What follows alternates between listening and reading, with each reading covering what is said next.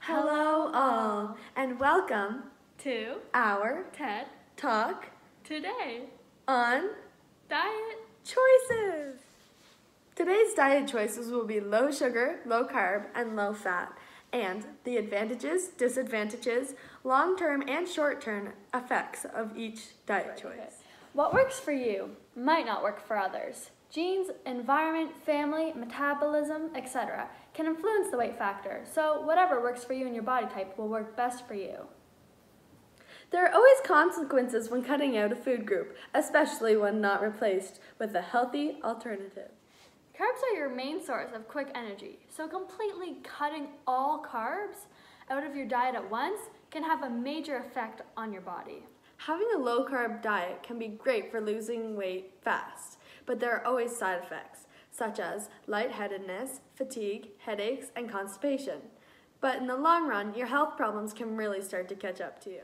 A study used the health data from approximately 25,000 people collected through the National Health and Nutrition Examination Survey from 1999 to 2010.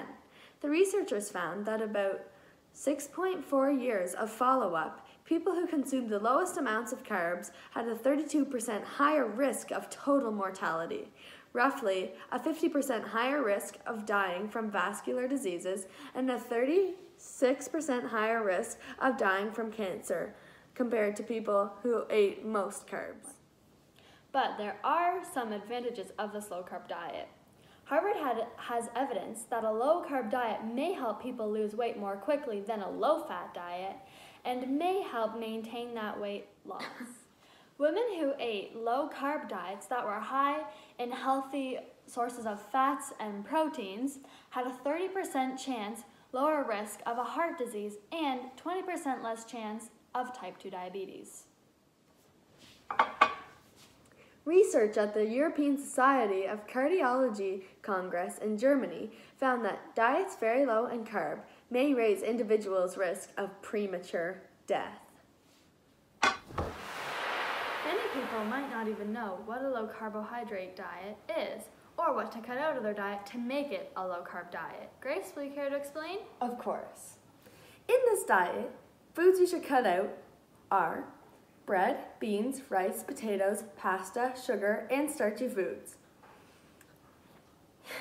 Your diet will mainly be protein, vegetables, and natural fats. With this diet, you can also eat whenever you feel like it, and there's no need to count your calories or to weigh your food intake before eating it. Moving on to our next diet choice, which is the low fat diet. If you're on a low fat diet, that means cutting down on your fat intake, cutting calories, eating low fat foods, and avoiding high calories. This method helps you lose weight and can help you ward off any serious medical conditions, including heart disease, high cholesterol, and diabetes. Your, although your body does need some fat to function. There are three types of fats unsaturated fats, saturated fats, and trans fats. If you're on a low fat diet, your fats that you consume should all be unsaturated fats because they are the most healthy. They come from plants such as olives, corn, and canola, and canola oil. If you're on a low, yep, that's it. Okay, yep. And for our final group, trans fats. Trans fats are found in products like margarines, shortenings, as well as many tasty snacks such as cookies, cakes, pies, potato chips, etc. Trans fats are created when a food manufacturer changes liquid oils into solid fats, sometimes called partially hydrogenated oils. They do it to make the product last longer.